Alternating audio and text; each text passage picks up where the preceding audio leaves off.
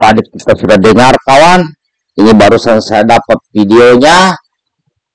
Ya, ini baru saya dapat videonya. Saya tidak putar kelihatan semuanya.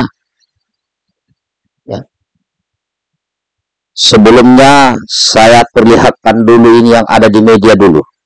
Ya. Ini kawan.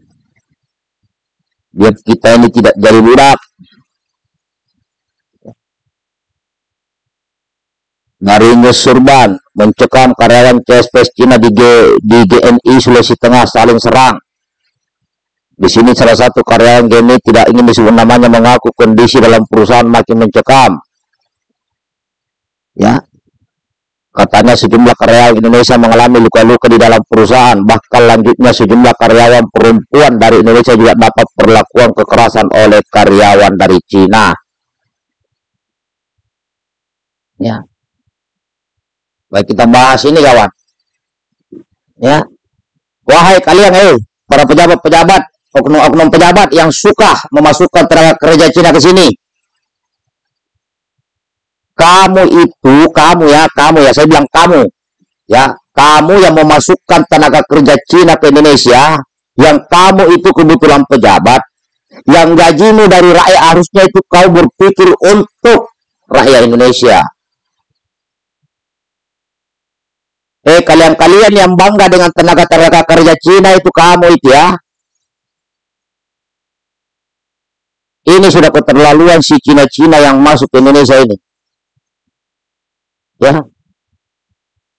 Kau datang ke negara sana, eh, kau dengar, mudah-mudahan ada yang bisa mengerti bahasa-bahasa saya ini dan ada yang mengartikan ke bahasa si Cina. Si Cina-Cina sana itu yang ada di Morowali, Sulawesi Tengah. Ya kamu-kamu datang ke sini tuh cari makan kau di sini. Eh, ini Indonesia, Bung. Ini NKRI. Ini Indonesia. Ini negara pejuang. Ini bukan negara Angola. Ini bukan negara Afrika. Ini bukan negara-negara yang mudahnya kau jajah, bukan. Ya, ini negara pejuang. Indonesia nih. Kau datang, kau berbuat begini, oh tunggu kau ya. Dan kalian para pengkhianat-pengkhianat negeri ini yang mendukung si Cina-Cina ini, kau siap-siap juga kau. Ya, kau para pengkhianat yang mendukung si Cina-Cina ini, tunggu kau ya. Kau akan lihat bagaimana revolusi rakyat akan terbentuk kalau ini dibiarkan. Sekali lagi kamu oknum-oknum pejabat yang kamu digaji pakai uang rakyat Indonesia, berhenti kau masukkan Cina-Cina itu masuk ke sini. Biarlah sumber daya alam ini dikelola oleh bangsa putra putri Indonesia. Kalau memang belum ada yang mampu berhenti dulu sambil belajar, jangan bernafsu untuk menjual negara ini, tambang-tambang negara ini. Ini tidak bisa dibiarkan yang begini-begini. Nah itu si Cina si Cina Cina itu yang dari Cina itu yang ya yang tadi itu semua pulangkan itu semua pulangkan. Dan rakyat Indonesia kita bukan budak di negara ini, bukan seenaknya dia masuk ke negara ini sudah dikasih makan, dikasih gaji, dikasih uang. Kau berbuat begini juga. Nah, ini saya berharap kepada seluruh aparat negara, khususnya Polri, segera tangkap orang itu, segera tangani. Kalau ini tidak segera diproses dan itu GNI kalau bisa ditutup, ya rekan-rekan aparat kalau kalau masih cinta rakyat Indonesia yang gaji kalian itu dari rakyat Indonesia ini tangkap orang-orang si Cina-Cina itu kalau bisa tutup itu P3 ini tutup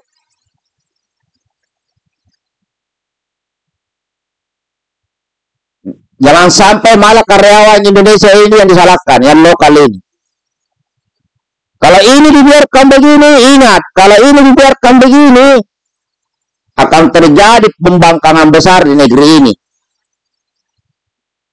Sesama saudara anak bangsa Indonesia akan saling tumpah darah di sini. Sesama anak bangsa Indonesia.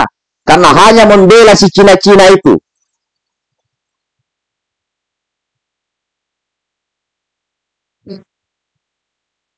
Jadi kalau ada pejabat, oknum-oknum pejabat di negeri ini, siapa pun kalian yang kamu digaji rakyat dan kamu membela si Cina-Cina itu, kau tunggu.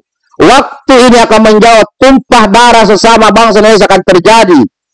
Dan kau akan menjadi sasaran, kau ingat itu. Inilah akibatnya kalau kita terlalu lunak. Ini akibatnya. Eh, rakyat Indonesia ini pemilik bangsa ini yang harus makmur di atas tanah air ini.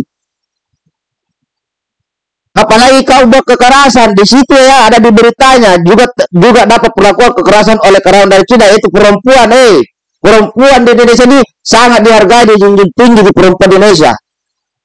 Jadi kemudian lagi itu Cina-Cina itu suruh pulang ya dan itu PT ini sebaiknya ditutup.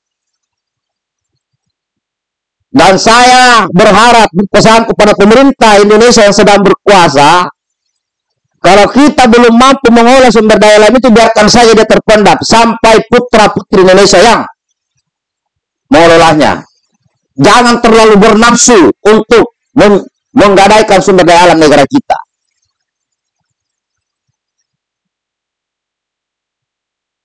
Mulai dari tingkat paling rendah kalian kepala desa, pacama, bupati, wakil bupati, gubernur, wakil gubernur, presiden, wakil presiden, DPR RI, DPRD tingkat satu, DPRD tingkat dua.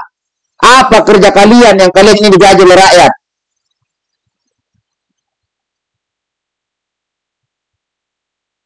Ini saya marah ini melihat begini. Dia isi itu si Cina-Cina itu dari Cina sana sudah masuk ke Indonesia cari makan, cari ini. Dia brutal juga ini. Eh, kalau kalian ada permasalahan di perusahaan, kan bisa kalian selesaikan. Panggil apa cara menyelesaikan. Tapi kalau kalian main begini, Korea, loh. Ini bukan negara Angola, ini bukan negara Afrika, ini bukan negara yang yang kamu sudah jajah. Eh, bukan, Bung. Ini negara tujuan di sini nih. Jangan. Sekali lagi juga kepada para aparat di wilayah setempat agar segera tangani masalah ini. Pemerintah harus segera turun tangan.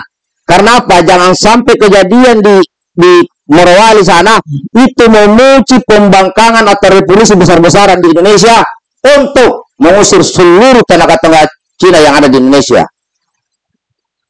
Kenapa? Kejadian di Sulawesi ini juga merusak, menyakiti hati seluruh Indonesia.